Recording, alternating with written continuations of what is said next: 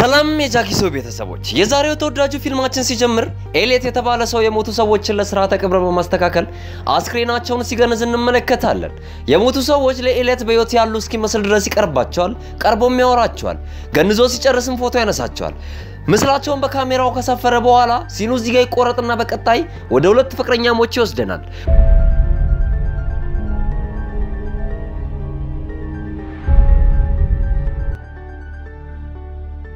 ፖልና አና ባልጋቸው ላይ ወሲብ እየፈጸሙ ነበር። ፖል በሚያደርገው ሴክስ ደስተኛ ሲሆን፣ አና ግን የደበራት ትመስላለች። በምን እንደደበራት ፖል ለማወቅ ይጥራል። አና ግን ይሄ ነው ብላ የምትነግረው ምንም ጉዳይ አልነበራትም። አፈቅርሻለሁ ቢላትም መልሳ አፈቅርሃለሁ ሳትለው ትለየዋለች። አና የልጆች መምህርት ናት። ወደ ትምህርት ቤት ትሄድና ጃክ የተባለ ለየት ያለ ተማሪዋን ትገናኛለች። ቀጥሎም አዳራሹን አቋርጣ ስትሄድ በትምህርት ቤቱ ለየት ያለ ነገር ታስተውላለች። የትምህርት ቤት ስራዋን ከጨረሰች በኋላ የፒያኖ መምህሯ ስለሞቱ ወደ ቀብሩ ለመሄድ ትነሳለች። ደጅ ላይም ተማሪዋን ጃክ ትመለከትና ልሸኝ ወይስ ስትለው እናቴ ልትወስደኝ እየመጣች ነው ይላታል። ቀጥሎም መድኃኒቷን ትውጥና ጸጉሯን በቀይ ቀለም አሳምራው ወደ መምህሯ ቀብር ትሄዳለች። በቦታው ደርሳ የተለየ የያዘን ስሜት በላዩ ላይ ታሳያለች። ትኩር ብላ አስክሬኑን ስትመለከት የመምህሯ ሬሳ ሲተነፍስ ተመለከተች። ድንግጥ ብላ ሀሳብ ይሆናል ብላ ችላ አለችው። ማታ ላይ ፖል አናን እራት ለመጋበዝ እየጠበቃት ነው። በዚያው የጋብቻ ጥያቄ ሊጠይቃት ሊያስገርማት ቀለበት አዘጋጅቷል። በጠረጴዛቸው ላይም ቀይ ወይንን ያስቀምጧል። አና እንደመጣችን በቀጣይ ቀን ወደ ቺካጎ እሄዳለሁ ጉዞ አለኝ ይላታል። ስለ ቀለበቱ ከማንሳቱ ቀደም ብላ ጭቅጭቅ ታነሳና የታቀደው ጉዳይ ከመፈጸሙ በፊት በከባዱ ይጣላሉ። የፖልን ሙሉ ሀሳብ ሳትሰማ ዝናብ እየጣለ መኪናውን አስነስታ ከቦታው ትሄዳለች። በዝናቡ ምክንያት መንገዱ በፍጹም ወደፊት ለመሄድ አይመችም ነበር። እሷ ግን በዚህ መሃል ስልኳን አውጥታ መደወል ትጀምራለች። ትንሽ እንደተጓዘችም አደጋ ይደርስባትና ሲኑ እዚህ ጋር ይቀየራል። በቀጣይ እይታ ለሬሳ ገናዡ አዲስ አስክሬን መጥቶለት ራሱን ሲያዘገጃጅ እንመለከታለን። ሬሳው የሌላ ሳይሆን ቀድሞ የተመለከትናት የአና ሬሳ ነበረ። ከላይ የለበሰችውን ልብስ ቆርጦ ሲገፋት የሚያምር ውስጥ ቀይ ልብስ ለብሳለች። የአና ግንባር ላይ ትልቅ ቁስል ነበር። በድንገት የአና አይኖች ይገለጡና ገናዡን የት ነኝ ያለሁት ስትል ትጠይቀዋለች። ኤልየትም ከሰዓታት በፊት በመኪና አደጋ ሞተሻል፣ ይህ አንቺ አስክሬን ነው ይላታል። አና ግን በፍጹም ልታምነው አልቻለችም። ምክንያቱም አና ሁሉን ነገር ማየትና መረዳት ትችል ነበር። ኤሊየን ካላመንሽን ተመልከች ይላትና የመሞቷን ማረጋገጫ ያሳያታል። ከሆስፒታል የተሰጠ ነበር። ከሁለት ቀን በኋላም ስርዓተ ቀብሯ እንደሆነ ይነግራታል። እስከዚያ ድረስም መንፈስሽ በስጋሽ ውስጥ ይሆናል፣ ከተቀበርሽ በኋላ ግን ይሄዳል ይላታል። ኤሊየን የሞቱ ሰዎችን መንፈስ የማናገር ጥበብን ከድሮን ጀምሮ ታክኖታል። ስለዚህ የቀብራቸው ቀን እስኪደርስ ድረስ ያለውን ጊዜ በቻለው አቅም በተለያዩ ነገሮች ያግዛቸዋል። እሷ የምትናገረውን ነገር እሱ ብቻ እንደሚሰማት ይነግራትና ወጥቶ ይሄዳል። አና ግን ነገሩ የሚያስፈራ ህልም ብቻ ነበር የመሰላት። ፖል ቤት ነበር። የአናን መሞት ግን አልሰማም። ወደ ስልኳ ይደውላል። ስልኳን ግን ኤልየት እጅ ላይ ነው ያለው። ኤልየትም ስልኩን ያቋርጠውና ወደ ራሱ ክፍል ገብቶ ስለ አና ከፒያኖ መምህሯ ጋር መነጋገር ይጀምራል። መምህሯ ግን ሞቷል። በቀጣይ ፖል ወደ አና ቤት ይመጣል። ከወላጅ እናቷ አና በመኪና አደጋ መሞቷን ይሰማል።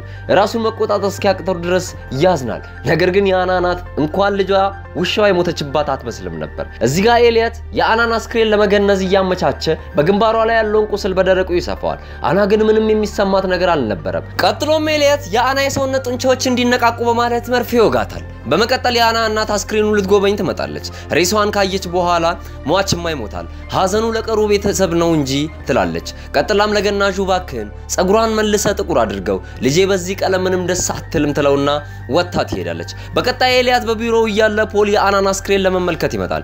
ኤልያት ግን ከቤተሰብ ውጭ ለማንም ሰው አስክሬን ማሳየት አልችልም ይለዋል። ምክንያቱም እስካረፈችበት ቀን ድረስ ቀለበት እንኳን አላደረገላትም ነበር። ሁለቱ ሲነጋገሩ አና የፖልን ድምፅ ሰምታ ብድግ ትላለች። እየጮች ትጣራለች። ነገር ግን ድምጿ ለማንም አይሰማም ነበር።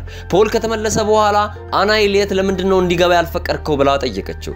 እሱም የአንቺ መንፈስ በቅርብ ጊዜ ውስጥ ለቆሽ ይሄዳል። ነገር ግን በዚህ ሁኔታ ከሚመጣው ሁሉ ጋር የምትገናኝ ከሆነ እዚሁ ተጠምደሽ ትቀሪያለሽ ይላታል። እሷ ግን በፍጹም ሞቻለሁ ብላ መቀበል አልቻለችም ነበር። እንደውም ኤልያት አንድ ነገር አድርጎብኛል ትላለች። አና በዚህ ጊዜ ምንም የሚሰማት ሰዋዊ ስሜት የላትም ነበር። በቀጣይ ፖል ጓደኛውን ለመገናኘት ፖሊስ ጣቢያ ይሄዳል። ጓደኛው የፖሊስ officer ነበር። የአናን ሬሳ ለመመልከት ፍቃድ ይጠይቀዋል። ፖሊሱም እንደማይቻል ሲነግረው ጥሎት ይሄዳል። እዚህ ጋር አና በሬሳ ማደሪያ ቤት ውስጥ ብቻዋን ነበረች። በእጇ ብረት ታነሳና ትንሽ ተራምዳ የሌላኛውን ሬሳ ገልጣ ተመልክታ ትፈራለች። ቀጥሎም ኤልያት ሲመጣ ጉዳት አድርሳበት ለማምለጥ ትጠባበቀዋለች። እንደመጣም ቀርባ ልትወጋው ስትሞክር በአጋጣሚ ሸውዶ ይተርፋል። ኤልያት አንቺ ሴት ሞተሻል እኮ ብሎ ሊያሳምናት ይሞክራል። እሷ ግን እንዴት ነው እንዲህ እየተንቀሳቀስኩ እየተነፈስኩ ሞተሻል የምትለኝ በማለት ትሞግተው ጀመረ። በመቀጠልም አና የአንዲት አሮጊት ሬሳ ራሱን በመሰማመር ከፊት ለፊቷ ቆሞ ተመለከተች። ህልም ነው ብላ እንዳትቀበል ሞተሻል ተብላለች። ግራ ገባት። በቤት ውስጥ እየተሽከረከረች ያገኘችውን ሁሉ መጣልና መሰባበር ጀመረች። ሲኑ እዚህ ጋር ይቆረጥና በቀጥታ ወደ ፖል ይወስደናል። ፖል በቤቱ ሆኖ አስገራሚ ህልምን እየተመለከተ ነበር። በህልሙ አና ከራሷ ሰውነት ውስጥ የገዛ ልቧን ነቅላ አውጥታ በእጇ በመያዝ ወደ እሱ እየተጠጋች ነበር። ፖልም በጣም ይፈራል። ኤሌት አና ክፍል ውስጥ ነበር። ከዚያ ወጥቶ ሲሄድ አና ተደብቃ የቢሮውን ቁልፍ ትሰርቅና ወደ ውስጥ ትገባለች። ከፊት ለፊት ያገኘችውንም ስልክ ታነሳና ለፖል ደውላ እኔ አልሞትኩም በህይወት አለሁ ትሏለች። ፖል ግን የሆነ ሰው ደውሎ በአና ድምፅ እያናገረው ነበር የመሰለው። ተናዶም ስልኩን ይዘጋዋል። አና በጣም ተቆጣች። ከዚያም ሳትወጣ ኤሌት ደረሰባት። መሞቷን እንድታረጋግጥና አምና እንድትቀበል ወደ መስታወት ፊት ወስዶ ገጽታዋን አሳያት። ቀጥሎም ያለፈውን ሁሉ እርሺውና መሞትሽን አምነሽ ተቀበይ፣ አንቺ በዚህ ጊዜ ሬሳ ብቻ ነሽ ይላታል። ነገር ግን እዚህ ጋር ከአና አፍ ውስጥ ትንፋሽ ወጥቶ መስታወቱ ላይ አርፎ እንመለከታለን። ኤሌት ግን በድብቅ ያጸደዋል። ጃክ ከቤታቸው ታች ወጥቶ በአባቱ ክፍል አናን ከርቀት በመስታወት በኩል ይመለከታታል። በስተመጨረሻም አና መሞቷን አምና ተቀበለች። በመታጠቢያ ውስጥ ገብታ መጸዳዳት ጀመረች። ኤሌትም ቀዩን ጸጉሯን ወደ ጥቁርነት መለሰው። ቀጥሎም በሀሳቧ ፖልን ተመለከተች። ስትነቃ ግን አጠገቧ ያለው ኤሌት ነበር። እሱም የአንድ ፖሊስን አስክሬን በመገነዝ ለስርዓተ ቀብሩ እያስተካከለው ነበር። አናም እኔ በመሞቴ እናቴ አልቅሳ ነበር እንዲህ ብላ ትጠይቀዋለች። እሱም መልሶ አረ በፍጹም አላለቀሰችም ይላታል። ፖልስ እኔ መሞቴን ሰምቶ አልቅሶልኝ ይሆን ብላ ጠየቀችው። ኤሌትም አረ እሱ እንደው ብሶበት ምንም አላለም ብሎ የውሸቱን ይመልስላታል። ይህን ስትሰማ በጣም አዘነች። ኤሌትም ገላዋን በእጽ ይወገዋል። በቀጣይ ፖል ወደ አና ትምህርት ቤት በአንድ ጉዳይ ሄዶ በአጋጣሚ ጃክ ያገኘውና እኔ አናን ማታ ላይ በአባቴ በፎቁ የመጨረሻ ክፍል ውስጥ ቀይ ልብስ ለብሳ መስታወቱ ፊት ቆማ ይቻታለሁ ይለዋል። ፖል የሚሰማው ነገር ቀልድ ይመስለውና ተበሳጭቶ ጃክን በጥፊ ይጥለዋል። መልሶ ግን ይጸጸታል። ቀጥለን ኤሌት የሞቱ ሰዎችን ፎቶ በእጁ እያገላበጠ ሲመለከት እናየዋለን። በመገነዣ ክፍል ውስጥም አዲስ ሬሳ መጥቶ ኤሌት ሊያዘገጃጀው ሲመለከተው የአናም አስክሬን በዚያው ተቀምጦ ነበር። ማንም ሳያስተውለው ግን ወደ ጎን ዘንበል አለ። ጃክም በተደጋጋሚ ወደ አባቱ መጥቶ የሞቱ ሰዎችን እንዴት ማናገር እንደምችል አስተምረኝ እያለ ጨቀጨቀው። ኤሌትም እሱ ሬሳዎችን ማናገር እንደሚችል ልጁ ማወቁን ተረዳና እሺ ችግር የለውም ሌላ ቀን አስተምርሃለሁ አለው። ፖል ጃክ የተናገረውን ወደ ኋላ መለስ ብሎ ማሰብ ሲጀምር በአደጋው ምሽት አና ከውስጥ ቀይ ቀሚስ ለብሳ እንደነበር ትዝ አለው። ጃክም ቀይ ልብስ ለብሳ አየኋት ያለው ነገር እውነት ቢሆንስ ብሎ ተጠራጠረ። እናም በፍጥነት ወደ አስክሬን ማስቀመጫው ህንፃ አመራ። አናም በህይወት ያለች ያህል ተሰማው። ለኤሌትም ሄዶ ጃክ አናን አይቻታለሁ ብሎኛል ብሎ ነገረው። ኤሌትም ጃክ ትንሽ ልጅ ነው፣ እንዴት እሱን ታምነዋለህ? ከዚህ ሂድልኝ ይለዋል። ፖል ግን በፍጹም ሊያምነው አልቻለም። ኤሌትም ፖሊስ ሳልጠራብህ ከዚህ ሂድ ብሎ ያባረዋል። በቀጣይ ፖል ራሱ ፖሊስ ዘንድ ይሄድና ለፖሊስ ምናልባት አና አልሞተችም ይሆናል፣ እሷን የሞተች ለማስመሰል አንዳች መድኃኒት እየወጓት ሊሆን ይችላል፣ በደንብ ይጣራልኝ ሲለው በቢሮ ያለው ሌላኛው ፖሊስ በእርግጥ hydrogen bromide በሚባል የሳይንስ ውህደት የአንድን ሰው አካል አስክሬን አድርጎ ማስቀመጥ ይቻላል ይላቸዋል። ነገር ግን ፖሊስ ዘንድ ይህን ለማረጋገጥ የሚያስችል ምንም ማስረጃ ስለሌለ ፖሊስ እሱን ምንም መርዳት አልቻለም። እዚህ ጋር የአና ሬሳ ለቀብር ሙሉ ለሙሉ ዝግጁ ሆኖ እናየዋለን። ኤሌትም እያናገራት ነበር። በመሃልም በህይወት ሳለሽ ምን ማሳካት ነበር የምትፈልጊው ይላታል። አና መልሳ እኔ ደስተኛ ብቻ መሆን ነበር የምፈልገው፣ ፍቅርን ራሱ ብዙ አልደሰትበትም ነበር።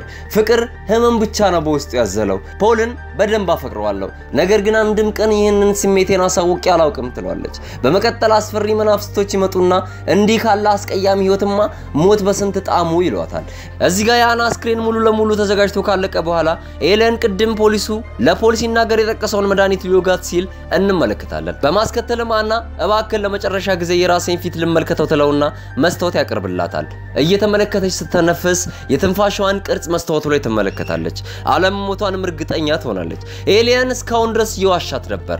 አሁን ምንም ነገር ለማድረግ አትችልም፣ ምክንያቱም በጣም ረፍዶባታል። ኤሊያንም መመነጫጨቅ ስትጀምር በአንገቷ በኩል መርፌውን ይወጋታል። በስተመጨረሻ ወዳጅ ዘመዶች አስክሬኗን ሊሰናበቱ ይመጣሉ። ፖልም መሞቷን አምኖ ተቀብሎ የገዛላትን ቀለበት በጣቷ ላይ ያጠልቅላታል። ኤሊያንም እንደተለመደው የእሷንም ፎቶ ከራሱ ጋር ያስቀምጧል። በመቀጠል ስርዓተ ቀብሯ ይፈጸማል። ነገር ግን አና በህይወት ነበረች። ከውስጥ ሆና ማንም ላይሰማት ትጮኻለች። ፖል ስክር ብሎ ኤሌን ጋር ሄድና እውነቱን ንገረኝ አና በሕይወት አለች አይደል ብሎ ያፋጥጠዋል። ኤሊየንም ልክ ብለሃል በሕይወት ነበረች፣ አሁን ግን ከመሬት በታች ሆና የእውነት ሳትሞት አትቀርም። ከቻልክ ጊዜ ሳታጠፋ ሄድና አድናት ይለዋል። ፖልም ጊዜውን ለመጠቀም በጥድፊያ አና ወደ ተቀበረችበት መቃብር ያመራል። ነገር ግን በጣም ጠጥቶ ስለነበር በትክክል መንዳት ይሳነዋል። ከፊት የሚመጣ መኪና ባበራው የመብራት ጨረር ሲደነጋገር እዚሁ ጋር ሲኑ ይቆረጥና አና መቃብሩን ለመክፈት ስትጥር እንመለከታታለን። ነገር ግን ፍንክች የሚል ሆኖ አልተገኘም። ፖል ወደ መቃብሩ ደርሶ አናን በሕይወት ያወጣት ይመስለዋል። ነገር ግን አይኑን ሲገልጥ በጠረጴዛ ላይ ተጋድሞ ኤለንን ፊት ለፊት ያየዋል። እሱም በጣም ያሳዝናል። አንተም እኮ በመኪና አደጋ ሞትክ ይለዋል። ልክ እንደ አና እሱም ሞቻለሁ ብሎ አምኖ መቀበል ይከብደዋል። ለመወራጨትም ሲዳዳው ትልቅ ብረት ደረቱ ላይ ይሰንግና ድምፁን ይዘጋለታል። ፖልም ጸጥ እንዳለ ፊልማችን በዚሁ ይጠናቀቃል። እና ቤተሰቦቼ ፊልሙ የ psychology horror ዘውግ ያለው ፊልም ሲሆን ኤሌን የተባለ ሰው የሞቱ ሰዎችን ማናገር እችላለሁ በማለት ሳይሞቱ በሕይወት እያሉ እንደ ሞቱ በማሳመን በቁማቸው ይቀብራል። እንደ አጋጣሚ አና አደጋ ደርሶባት ወደ እሱ ዘንድ መጥታ ሞተሻል ቢላትም በፍጹም አልሞትኩም ብትልም ዘውትር ኤሌን ሞተሻል፣ አሁን በውስጥሽ ያለው መንፈስ ብቻ ነው፣ እሱም ከቀብርሽ በኋላ ትቶሽ ይሄዳል እያለ ሊያሳምናት ይሞክር ነበር። ነገር ግን በድንገት አና እስትንፋስ እንዳላት ታውቃለች። እስከ ዛሬም ድረስ ኤሌን እሷ ላይ ሲጫወት እንደነበረ ደረሰችበት። እናም አንድ ጥያቄም ይነሳል፣ ይህን ክፋት በአና ላይ ማን ሊያደርግ ይችላል የሚል። በፊልሙ ማጠቃለያ ግን የአና እናት ያለ ፍቃዷ አናን ከፖል ጋር ማየት ስለማትፈልግ እሷን ሞታለች በማለት በቁም ልትቀብራት በማሰብ ይህን ሴራ ብታቅድም በስተመጨረሻ ኤሌን ለአና በማዘን ጸጸት ተሰምቶት ፖልን ሂድና አድናት ቢለውም ፖል እሱ ራሱ ያለ ልክ ጠጥቶ ስለነበር አናን ደርሶላት ከመቃብሩ ውስጥ አውጥቶ ከማዳኑ በፊት በመንገድ ላይ አደጋ ደርሶበት እሱም በኤሊየን እጅ ውስጥ ወደቀ። ፊልማችንም ተጠናቀቀ።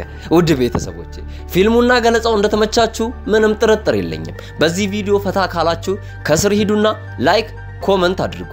እንዲሁም subscribe ካላደረጋችሁ subscribe በማድረግና የደውሏን ምልክት በማብራት ዘወትር የሚለቀቁ አዳዲስ የፊልም ገለጻዎች እንዲደርሳችሁ ማድረጉን በፍጹም እንዳትረሱ። ስለተከታተላችሁ ስለተመለከታችሁ ከልብ አመሰግናለሁ። በቀጣይ በአዲስ በአሪፍ የፊልም ገለጻ እንገናኛለን። ጃጊሶ ፊልሞች